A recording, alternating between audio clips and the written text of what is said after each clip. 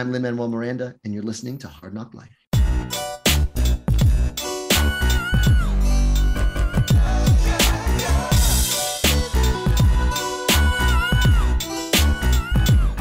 Well, it's the NOC in full color. You see me? The hard knock life. Comics, movies, and TV. Yeah. Pop culture with a different. Welcome to Hard NOC Life. I'm Keith Chow.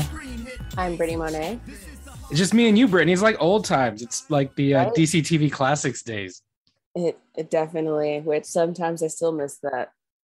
Well, you know, I, I keep thinking about bringing it back. I, I want to perhaps I need to do something with the archives of that of that old show because they're they're still on the old feed, but I know I renamed the feed ever since we amicably split from the DC TV podcast family. But Well, I'm still technically a part of that it, is true. family. But That yes, is true. Say hi to Andy and everybody for me, please. of course, of course. How you doing, Britney? I'm good. I'm good. Had a uh work shift last night, but other than that, I'm great. there's not a lot of nerd stuff to get to. Next week's a big old DC fandom. I know we're coming out of New York Comic Con, but Mhm. neither of us went to New York Comic Con, and it's the biggest show that's happened, I think, since the pandemic. So I wonder how it went. Yeah, and I just don't know if there was any announcements because I've pretty much worked like every single day this weekend, so I don't know like if, you know any announcements that came out because I haven't been too online. Yeah, yeah, same here. I mean, if anyone's listening right now, is like, how could you miss blah blah blah? You know, like we missed it. I mean, that's the thing, right? Mhm. Like Comic Cons used to be where everything happened, and I feel like New York Comic Con came and went, and no big earthquakes took place over the Yeah. weekend. But the big, the biggest earthquake, it was the earthquake to the multiverse that we will talk about, is the finale of What If. We finally got to the end, and holy crap, that was a hell of an end. Can you imagine if that was live action? Like that would be that's like Avengers Endgame level of stuff happening in like a 25 minute animated show. Yes, my only complaints for the episode was I wish something else happened to like a little bit bigger. Um, What's bigger than breaking the multiverse? I don't. They didn't actually break the multiverse though. That's, That's the true. that's the thing. They didn't break it. But overall, I really like the concept of the show, and I still think that the Doctor Strange episode and the T'Challa Star Lord episode are like the strongest episodes of the Mm. show. And the, the the episode before the season finale actually was really really good too. I kind of hope we see the Watcher in live action though. Yeah, I wonder how they're going to pull that off because like that's the kind of character that I think I mean th- we saw Watchers briefly in Guardians 2 and they look Uh-huh. kind of goofy, you know what I mean? Like I Yeah. wonder cuz the Watcher was dope in the show Mm-hmm. with Jeffrey Wright's voice and everything. I just can't imagine taking that character seriously in live action. I don't know. Maybe I'm wrong. Maybe they can Uh, make it work. maybe there's a way to make it work. First of all, probably bring back Jeffrey Wright. oh, Um, number 1. yeah, I feel like there's a way to a way to do it where they can make this particular watcher look a little bit more, you know, maybe not as goofy, but I don't know. I kind of do hope that we will see more of Captain Carter. Did you stick through the credits? Yes. Like this was there was finally a post credit sequence. I mean, season two seems to be continuing the adventure, and I think they confirmed Hayley Atwell is coming back for season two. So I mean, I I also kind of hope we get Captain Carter in live action. mm, And I, I think the reason why I, I thought maybe What If was going to be the show that really finally sealed the deal of, okay, multiverse is like broken. I really thought it would be. It it wasn't. So um now I'm just like, where is it Eternals or is it officially just Spider-Man No Way Home is where like we really see it happen in real time. So that's where yeah. yeah, and, and I think that's a good point because like we've seen so far in a couple different places where parts of the multiverse are splitting Yeah. in real time. Like there's the the scene with the He Who Remains at the end of Loki. There's the you know I mm-hmm. think that people have lined that up with the scene where Wanda becomes Scarlet Scarlet Witch. Witch. Yes. and then there's of course from the trailer of Spider-Man where where Peter and Mhm. Strange kind of fuck up the the spell. And then here I think it's the point when Ultron becomes aware, right? Like Mhm. I wonder if those four points in time all happen simultaneously, right? Like Yeah, because because we know if you've seen Venom, you then know that the after credit scene is the Oh, right. aftermath of like the universes being on one plane. Right. Of one of those things happening, whether it's Strange, whether it's Wanda, whether it's Yeah. So I don't know. I I, I assume they're uh, saving it then for one of the bigger movies because not everyone they they're probably aware not everyone is watching all of the shows. right. and you know so that's probably why it's probably going to happen in one of the bigger movies but i was still hoping that you know it would happen in one of the shows just to give the shows a little bit more like no you gotta watch them but i understand it's so much work some people say it's like oh it's like homework Yeah. but i guess i just enjoy watching all the different stuff so much that it's not homework to me yeah, of course, Um, right. Of course. yeah. And it's crazy that like what if is over because Mhm. you know, we're we're I think without a Marvel show for at least a month now, not until Hawkeye. There's nothing between now and then. Of course, there's Eternals coming out in theaters, but and it's it's a weird kind of like flow, right? Because you go from Loki to What If, which seemed natural. Like Loki Yeah, really breaks the multiverse. they're saying for people who didn't buy black widow on disney plus that about with premiere access now you can watch black widow if it's available so that's kind of their like thing but it's like if you've already seen it you know you're in the place of there is nothing Right. And then Black Widow in the timeline is weird, right? Because it takes place post Civil War, pre Infinity War. So it's like yes it feels like a thing out of time anyway. It doesn't belong in this current like trajectory. And even Shang-Chi weirdly doesn't fit in the whole kind of like there's all these multiverse, you know, breaking things. Uh-huh. And then Shang-Chi kind of again sits outside that timeline. Like nothing in that movie is affecting or has been affected by the stuff we're seeing in What If. And and uh, Falcon and Winter Soldier was similar, right? Like that just kind of was like so it's almost like Black Widow, Falcon and Winter Soldier, even Eternals. Like they were almost taking Well, place in their own. I mean, who knows? We don't know I'm anything about. Eternals. i think i Yeah. feel like shang-chi and eternals are connected just because the only thing i can right. because of the after credit scene for that too is like basically hinting that the rings come from like Wow. oh it's over 10,000 years old or whatever so Well, that's like, what we think. I don't think anyone else on the internet has been spec, which is weird because I felt it was so obvious, but I feel like only Hard NOC Life is the only place that's like maybe Well, it's uh, you connected to the Eternals. But if we're right like hey come listen to our podcast, everybody. You should. This is where, exactly this is where we're Um, breaking all the spoilers. but yeah i'm definitely very excited for eternals not because i'm someone who like knows everything about them like i still have not read further than where i am in the comics for those who at least know where i'm at in the comics i've only read like an issue and a half of the neil gaiman run which is where i pretty much think that this is the the where they're basing it off of the Right. movie but i'm just excited because of the cast and i'm just a huge like richard madden fan like i love him i think he's amazing so Hundred percent. I'm excited to see him um as basically like Superman, even though Yeah. Marvel is Marvel's super it, Superman. Like I don't know, there's gonna be two of them. So Yeah, yeah. Well, and Ikaris, like, I mean, he's he they're doing the uh the heat vision thing the way like that's that's all he's doing. He's flying and shooting laser beams out of his eyes in all the trailers Yeah. thus far. So he's they're really leaning into that aspect. So yeah, I mean, there's this weird trajectory of like because that happens, and then we get Hawkeye, which yeah, doesn't feel like it's connected in that you know cosmic level. And then we get no way home which is bringing the cosmic and the street level together right? So may, maybe that maybe it's all built into that. Maybe you know it, there is method to the madness because i'm like what's all the street level stuff and then you have all this cosmic stuff and then you, Yeah. you you culminate with no way home where it brings the street and the cosmic together so yeah. And then I mean, there's already been rumors that apparently all of the Daredevil cast is coming back for a Disney Plus show. Like I don't know how accurate the rumor is, but you know that's the rumor that's like flying around is that that's coming back.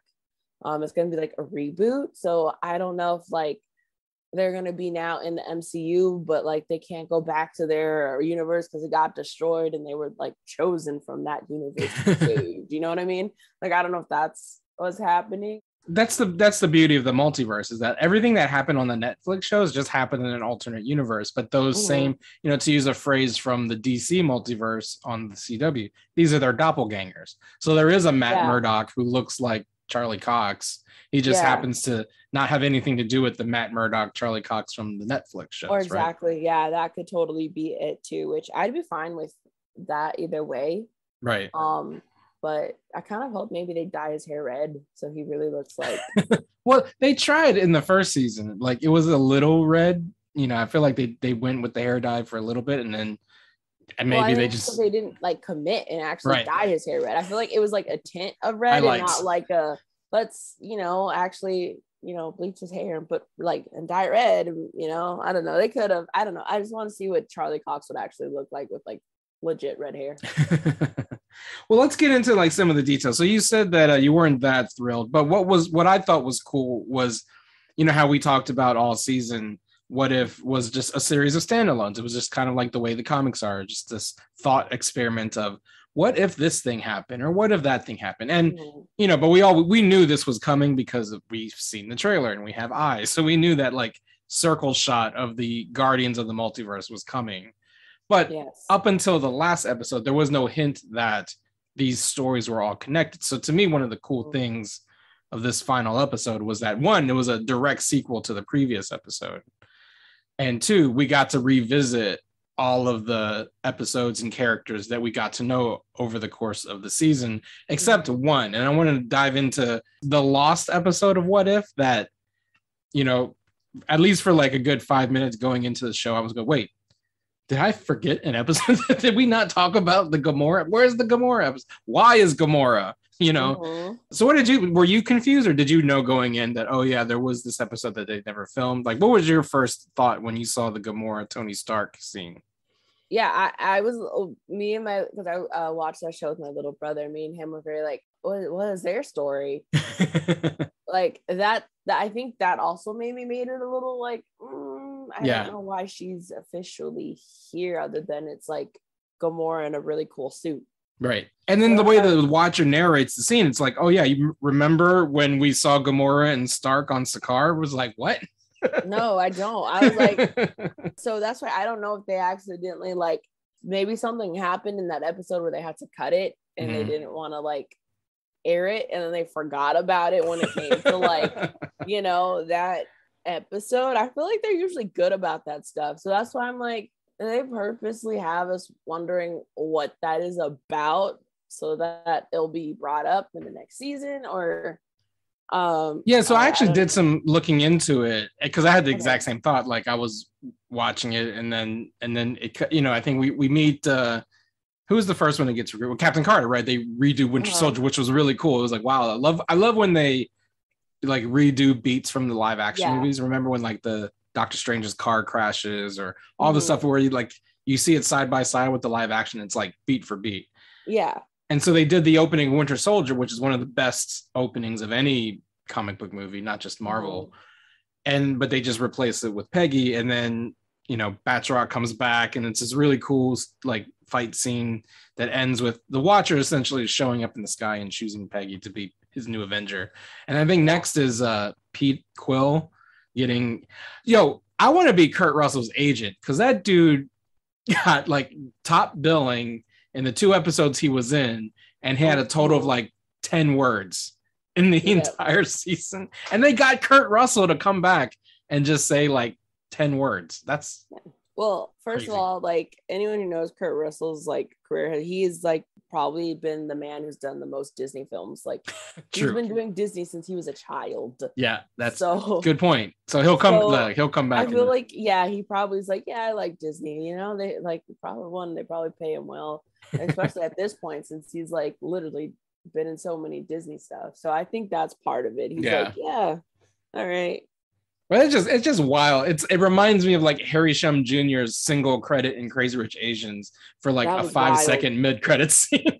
I know so many Glee fans who probably went to go see that movie for him, and he's only in that one scene. I wonder how upset they were. But then he It's gets single billing. Like it goes like Constance Wu, Henry Golding, Michelle Yeoh, and you're like, yeah, that makes sense. And then then mid credit scene, oh, there's Harry Shum Jr. Where was he the whole fucking movie? And then that's it. And then Harry Shum Jr.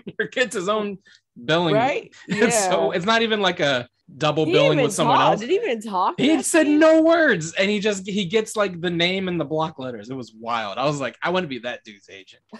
anyway, so we and we see T'Challa come and he saves Peter Quill and he gets chosen, and then it cuts to Nevalier, Nevalier, Nev, whatever the Yes, the- I know. whatever uh Peter Dinklage's planet was called. Yes. And you know, like like we said, the, the watcher narrates as if we've already met these people. And it's Tony Stark in Hulkbuster armor, but it's like Sicarian. It's like the uh, Mhm. Grandmaster planet, the trash planet, and Gamora. And apparently, so there was an episode that was planned that got cut due to COVID and move to season two. But what I don't understand, I mean, yeah, I know when you make movies and when you make TV, you don't always shoot Mhm. everything in order. But like, you know, clearly this was all done. Like the the two episodes were supposed to be the last two episodes of the season. yeah. How how do you like just skip an episode from like early? Who knows when it was supposed to air? But like, yeah, and it could have been they probably actually were gonna have Zoe come in and like mm, you know do that episode, and then for you know whatever she couldn't because probably you know maybe she actually had COVID or she was exposed to someone had COVID, and they were trying to hurry up and get this stuff done, so they just probably decided to cut that whole entire episode, and then I don't think it was Zoe voicing no, it wasn't. right. She didn't. So yeah, back. then they probably just had someone else voice her for the like finale. Maybe, maybe it was a scheduling thing with Zoe. Good, but I know that they had planned the whole episode, and it was supposed because it was supposed to be a ten episode season, and for whatever reason, that was the episode they decided to cut. And I think it's going to be out in the second season, so it'll be, which it kind of it's kind of like the Black Widow syndrome. It's like I don't care about them anymore. like Yeah. it might have been a cool episode had we not already seen them in in the finale, but whatever. Yeah. I mean, then it'll it'll answer your question of what if. What if we actually saw the episode? Who is Yeah. Gamora? Where is Gamora? Why? Why is Gamora? That's the name is- of this episode, by the way. We're calling this Why is Gamora? Yes. I don't know. That will always be one of the most iconic. I'll do you one better. Why is Laura? Honestly, that was the phrase that popped in my head when her scene showed up. I was like, why is Gamora in this fucking episode? Because it makes no sense. Well, it was dope, though, that that's the Gamora in that universe who murdered Thanos and took his armor and melted down the Infinity Gauntlet. That's pretty cool. Yeah, and then she's like has a Infinity Stone destroyer, which I kind of like the concept of like Infinity Stones from different universes don't work the same. You know? but it does throw a wrench into the whole endgame plot because those are like infinity stones from three different universes right because they go back and Yeah. so it like did did tony snap actually work you know like maybe maybe he didn't bring everybody ba- or no i guess his snap is what dusted thanos because Yeah. well both right they're using the same stone so when hulk snaps and he brings everybody back I Mhm. don't know. It's it is kind of like a and all this stuff, the more you think about it, the more it starts to unravel. So it's best to not think about it too much. Yeah, that's probably why they're gonna do the multiverse, so then they can kind of like anything that is an error can be like Yeah. you know chalked up to being either fixed in the multiverse or you know yeah. Yeah. But ultimately, ultimately, you know, the episode ends with you know, I think to your point, it was a Mhm. little disappointing that it was just basically a big old fight for Mhm. like 15 minutes. You know, it was very similar to like to in my mind, it reminded me of the Infinity War scene when like Spider-Man and Doctor Strange were fighting Thanos, and it's like, you know, you you didn't have Peter Quill at the end like do something stupid, but it was just kind of like, you know, all, look at this cool thing Doctor Strange is doing To mm-hmm. to fight this giant cosmic warrior with like the multiple hammers and the the zombie portal, which was pretty cool. but like, yeah, it was a little kind of like, I guess, underwhelming that as as as like threatening and terrifying as Ultron was the previous episode, like all they're really doing it like he it, with he with a thought could have like destroyed the entire universe. I didn't understand why he was like blasting them with laser beams. yeah. I don't know. And that's why I feel like there was something just like missing from that last episode. And I Mhm. don't yeah, I don't know if it was um certain other elements of the story got cut because of COVID or that was always like the way that story was gonna end. I don't know. But yeah, I feel like it the finale didn't hit as hard as it could Mm. have. But I just really do hope that we get live action Captain Carter. If if Hayley Atwell actually wants to do it live action, then I want that. what did you think of Killmonger? His, I mean, he was already a bad. He was a bad guy going into the episode, so he just, you know, like there was the sense that oh, are they going to redeem Killmonger? But of course, at the end, he and Arnim Zola spend eternity, like Rey and Kylo force battling over the lightsaber in the Last Jedi, except it's just with the Infinity Stones, which is kind of like like. So do they not realize that they're inside a pocket universe, universe? for eternity? Probably, probably not right away. I don't know how. but at some point, right? Like they're going like they're going to go. Wait a minute, where is everybody? hey, and I if- feel like those two together, that's probably not a good combo because they're both actually really smart. yeah, like So, what once they stop like you know once they like look around and realize that there's nobody around and they Mhm. let go and they decide to like put their body like maybe killmonger like what if i inject your ai into my armor and we can share the power of the whatever and like they would be unstoppable it's not exactly. That's I'm like, mm, this might not be a good idea. maybe that's season two who knows Maybe, maybe.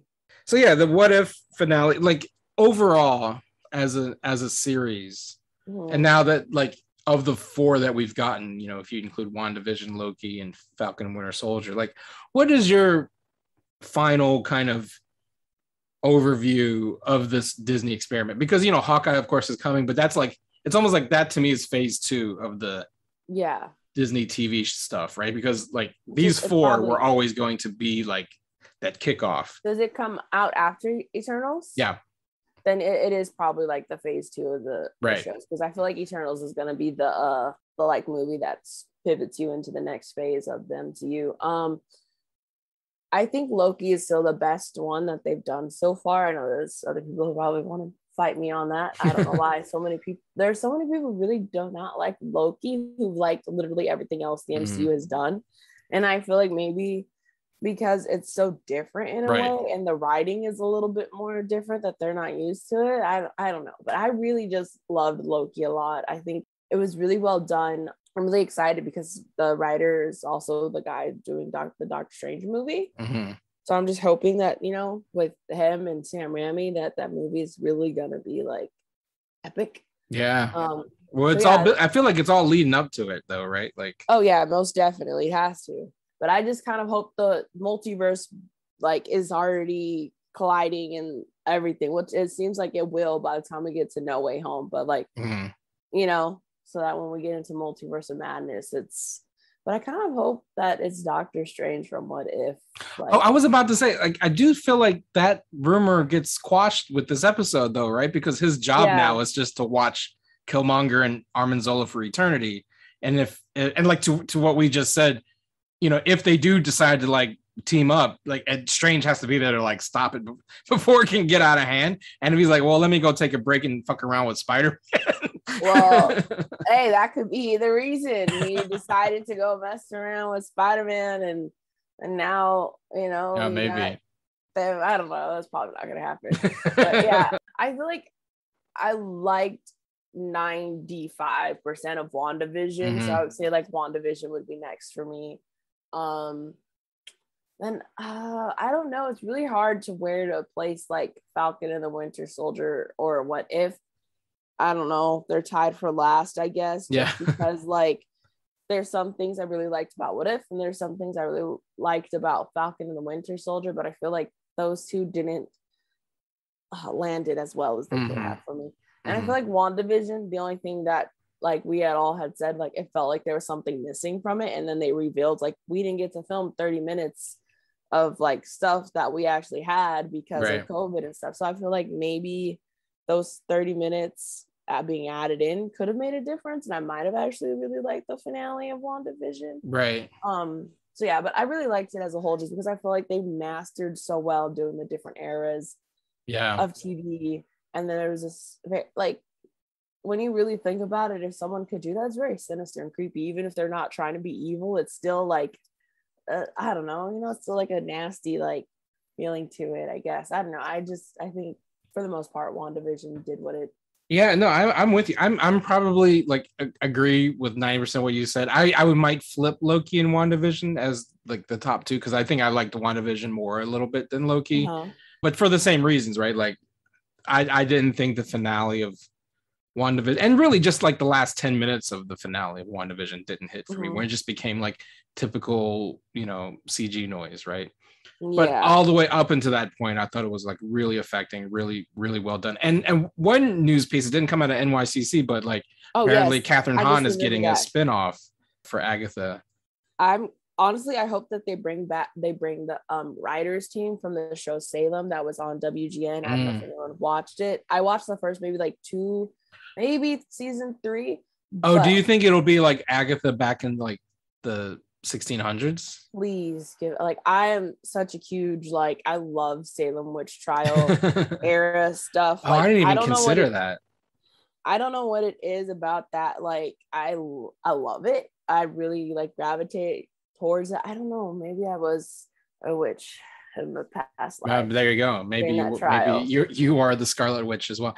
You know what I was thinking? I was honestly thinking it was going to be like Agatha in her, you know, whatever kind of like spell has been put on her, where she's what is her name? Agnes, in in in that town, slowly realizing she's Agatha again. Like I figured it would be maybe, and maybe they'll do flashbacks to like her time as a witch. But I thought it was Mhm. they would just do it would be like a typical sitcom, but like a 2000s era. I don't know that maybe Yeah. as I'm saying it out loud, it sounds stupid. No, I mean, depending on how, uh, like, the thing is, if they do it a certain way, it could be really cool. Yeah. Either concept, I think, depending on how they, you know, write it and executed all that stuff, it would be, it could be really cool. I don't know. I just really have like an affinity for the Salem witch trial Yeah. Yeah. Yeah. and stuff. And like, that's why my favorite uh, books of the Fear Street books Right. are like the Fear Street saga, where it actually starts in like the like 1600s. Like, that is always like my favorite Well, there you go. of it is with the witches and stuff. So I just really think I just have a thing for like the witch trials and whatnot. But that show is really great. Shane West is on it. For anyone who likes Shane West in A Walk to Remember, he's the main guy in Walk to Remember, and then he's also in. Oh, he was in Nikita, right?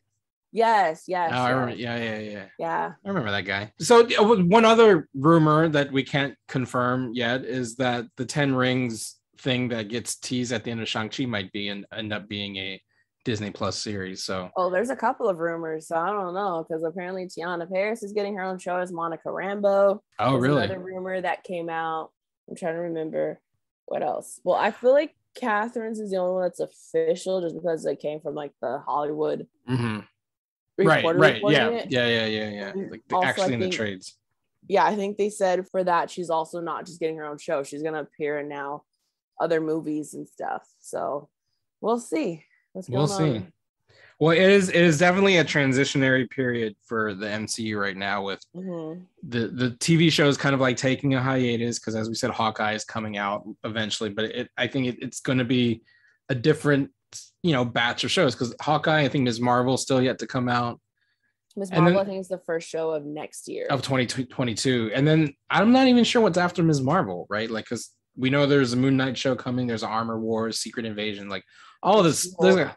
so many, yeah, She Hulk, so many The shows. rumors is that uh, Secret Invasion and Captain Marvel 2 are filming at the same time at the same studio. Oh, so so they might be connected. overlap, and I'm starting to think that how do you say her name? Zway Ashton is playing the Skrull Queen.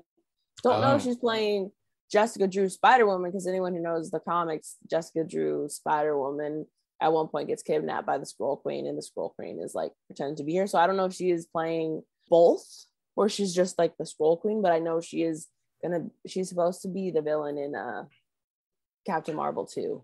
so you think Captain Marvel 2 will will flip the script and make Skrulls bad guys? Because that was always like the, the the- interesting thing about the movies so far is that Mm-hmm. Skrulls are not the bad guy. Like they're so like But evil thing in the comics. That I think that they're gonna do the whole thing where that particular group of there's a particular group of Mm. skrulls that are like um they follow the skrull queen and uh they're like zealots and she wants to take over and infiltrate and Right. so I think that they might go with that like it's just this particular fraction Well, that's true, right? Because it's always that weird bad. that like the entire alien race is like they're all evil. Like it's gotta be like good people and bad people, just like every other species in the universe. Yeah, exactly. Yeah. Um, so I, I think that they're gonna go with that, which is gonna make it, you know, people be again in the situation of like we can't trust the Skrulls, we gotta wipe them out and like right. go back to the whole of why there should be a genocide against the Skrulls, which is, you know, horrible, but like I think that's gonna like hit hit on why the Kree were so like but the Kree are about like honestly wiping out anyone that wasn't Kree. Yeah, exactly. like there's no redeeming them. Well, anyway, let's take a break. And then after the break, we're going to get into what's nerd popping.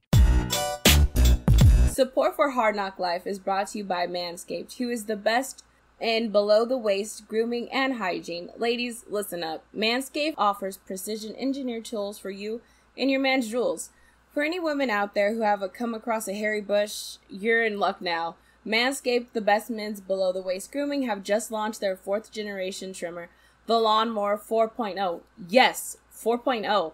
Make sure your man joins the 2 million men in the world who already trusted Manscaped with this exclusive offer for you 20% off and free worldwide shipping with the code HARDNOC, H A R D N O C, at manscaped.com. Yeah, and it's kind of swag just having a trimmer just for your balls. It's cool. I mean, it, it just it feels like a it feels like a flex. I feel more luxurious than I did before, and I, I really do like these Manscaped And, products. I'm not you even know, gonna like. like you said you feel luxur- luxurious using it everyone should feel luxurious um you know grooming themselves in all parts of their body and you know your face and your nether regions are important parts so take care of it do it don't just you know like i said don't do two don't do one and the same Don't This cross the not a- streams. don't cross the streams And the best part, you can get 20% off your purchase plus free shipping with the Yes. code HARDNOC, H A R D N O C, at manscaped.com. That's 20% off and free shipping when you use the code HARDNOC at manscaped.com. Experience premium grooming with Manscaped. Your balls will thank you. yeah men really your balls will thank you. Thanks, Dick Tracy. Or you know people who just happen to have balls who may not identify as uh, men you know your balls will thank you for taking care of them All right, we're back. Britney, what is nerd popping for you this week? So it hasn't happened yet, but it's just because I'm like very excited. It's happening for me this week, actually. As we're speaking, I am gonna go see The Last Duel. Oh, nice. This is the movie with you know Adam Driver and Jodie Comer and Ben Affleck and Matt Damon. I am like just a sucker for Renaissance Yeah. movies. Um, And and first- Adam Driver, right? You're still a Yes, sucker for Adam Adam Driver. Driver. Yes, but I thought at first the trailer was gonna be like a witch trial movie. and I'm like, yeah. oh, And right, then I was like, oh, this is still cool too. I'm here for it. it's the story of Marguerite de Carrouges, who who was the a, a knight's like wife, who was the squire. The knight was the squire to another famous person. Anyway, she accuses him of rape, and then he it's like the first rape trial in history or something like that. Hmm. And you know, Adam Driver is not the not the good guy. Let's just say. Oh yeah, no, I know he's not the good guy in this. Yeah, it just everything. but it looks great. Ridley Scott Yeah. directed. Affleck and Damon wrote it. This is their first thing they've written together since Good Will Hunting, which is pretty amazing to think about. Yeah. Su- Such a wild departure from Good Will Hunting. Oh, I know. So yeah, I hope this will be a fun uh, movie. It's got me all excited for time period stuff. Like I love time period things. It's, Yeah, I don't know what it is. It's just it's so fun for me.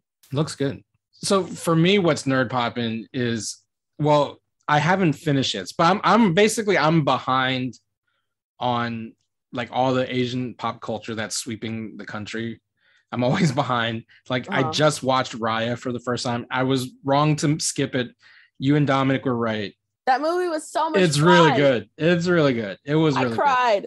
It was really good. I I, was, I, I mean, it was the animation is probably the best CG Mhm. animation I've seen. Like honestly, when she's on Tuk Tuk and they're rolling through the desert, like it Yes. looks live action. It doesn't even look like an animated movie. Which I mean, Yeah. to to be fair, like all that shit is animated anyway, even if it is live action, right? Like, Yeah. like the but it, it gave me like pod race feels, right? Like when she's rolling through the I guess what is it? The Talon, the world of Talon. I thought Awkwafina was great as Sisu. She was really I know that like we are in a post everyone hates Awkwafina world, but I thought she did a really like affecting job I did too. as Um, I'm one of those people that even if I don't necessarily care for someone, if they do something right, I'm gonna give them their flowers because Mhm. like I just that's how I feel. Like I can't like sit there and lie and like, no, you're good. Yeah, I thought she was great in both Shang-Chi and in um Raya. Like I loved both of those movies and I could like, I don't know, it was just really cool. I I liked it. yeah. I'm sad that Daniel Dae Kim didn't get to do as much voice work as I was hoping he would, but it was still a lot of fun. Yeah, but Raya was really good. I was, I'm like I said, Mhm. I'm late on it. I know the rest of Asian America has moved on to other things, but I was, I was like, I finally sat down and watched it, and I was really moved by it.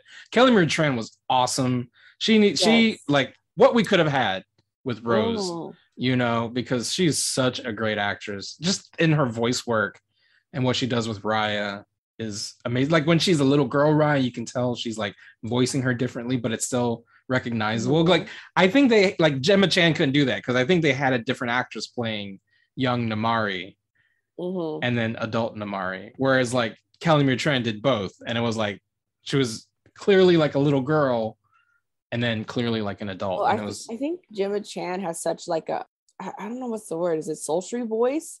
that it, it it wouldn't work as like a nine year old, like it's harder for her probably to like hit a nine year old voice. right? You know, That- especially if she doesn't do a lot of different like voices in general, it's probably harder for her to like try to sound younger. Yeah, yeah, yeah. But Kelly was great. Like again, and you know what? It made me long for perhaps, and I feel like the sequel trilogy is kind of like dead and buried. Any anything Star Wars from now on will probably take place in a different time period than the sequel trilogy. That said, it makes me long for some some sort of like animated Rose Tico project. I, I I don't know how true this is, but there's just been some rumors that John Boyega is actually going to be coming back as Finn for a live action show. oh, he would he would actually come. I don't know. I feel like he and so I know he said Lucasfilm he wouldn't and stuff, but there's been rumors that like something has come to an agreement. I don't know. I saw rumors somewhere, but it could be totally like you know BS and people just like you know pulling your leg. right i mean at the very least give us the uh, animated duel of the fates redo of episode nine i would i would love that just let let kelly marie and john boy come back and voice like cgi rendered versions of what the episode nine story should have been because I, I think that would have been dope. Anyway, the other Asian pop culture thing that I'm a little bit late. I'm not as late on this as I am on Raya, but I haven't finished it yet, so I can't really talk about it. So maybe next podcast I'll, I'll dig into it. I don't know if you've been watching it, but Squid Game. I know the whole fucking world is talking about Squid Game. I need to watch it um because everyone's talking about it. I'm like, oh, I gotta watch it. I'm two thirds of the way through, so I haven't quite finished. So maybe It's, by it's one of those things that I feel like if I try to watch it on my own and then one of my family sees me watching it, like, oh, can we watch this together? And then I gotta restart it. So I'm just kind of like, do I ask them if they want to watch it with me? Or do I just try to watch it on my own? I, I don't know. But yeah. yeah. So those are the things that's nerd popping with me. Squid Game, is, and like I said, two thirds of the way digging it so far. But truth be told, I don't understand Is it a why sc- it's so I- big. In I just like, don't know. Is America. it a scripted show or yeah, is it a yeah, yeah, yeah. It's a show? drama. It's a drama. It's I a was it's a very like trying to figure out if it was a like actual that- reality show. No, it's yeah, it's I was very confused on that part. I was Straight up fiction. out. Okay. because because the shit they get into, like, there's no way it could be real. But but what I yeah, I just don't get like. I mean, it's it's great, it's entertaining, but like, what is it about this that has touched a nerve in America that like everyone is talking about it and like Halloween's coming up and everyone's gonna be wearing Squid Game costumes and stuff. Like, I don't I don't know why Um, it's become that huge, but it's it's great. It's it's really entertaining, but it's not like I feel like it could be one of those things where like you know if you're someone who actually watches TV shows and films from other countries, Right. you're like yeah, this is like everything else. this is like everything else. This is decent. It's it's all right. And then you know people who are very Americanized and only watch things from American studios unless it gets like you know Oscar status. Yeah, yeah, yeah, yeah. Out here, then they won't see it. So I feel like that could be part of it. Where That's it's a good point. oh my god, I've never seen anything done this well. When it's like, oh, Yeah, have you watch watched a lot of- anything? yeah, yeah, yeah. yeah. There's a lot Like- of people don't watch enough stuff until like like watch any anime, bro. Like this is basically like a live action anime. Anyway, I highly recommend. Like, not that I need to recommend it because it's like the most watched show in the history of Netflix, but like I said, I'm I'm digging. It. I'll probably have it finished by next podcast. So if if Okay, you okay. uh, get a chance to watch it, maybe we'll talk about it then. Anyway, Mhm. we will we will end it there. Britney, how can people find you on the internet? Uh, you can find me at Hi Britney Monet, and you can also check out at Naomi Podcast, which is the official hub for all the other kind of podcasts that I'm doing because it's all shared on the same feed. And it also has the backlog of Black Lightning if you're someone who's recently discovered Black Lightning, because now I know the final all seasons are on Netflix. So just in case that's there if you want to go back and listen to it. Awesome. And you can find me on Twitter at the real chow, the underscore real underscore chow, and follow the nerds of color at the nerds of color. Go to hardnocmedia.com to find this and all the podcasts in the Hard NOC family, including classic episodes of DC TV Classics with me and Britney under the title DC Multicast that I'm going to figure out what to do with one day. But give us a rating and review if you re- if you listen to this or any of the podcasts in the Hard NOC family on Apple, Spotify, Stitcher, anywhere you get podcasts. And uh, that is Hard NOC Life for this week. Until next time, who is Gamora? Why? See ya. Watch it on your screen, hit play, so check this. This is the hard knock life, but not the chicken kind. More like the people.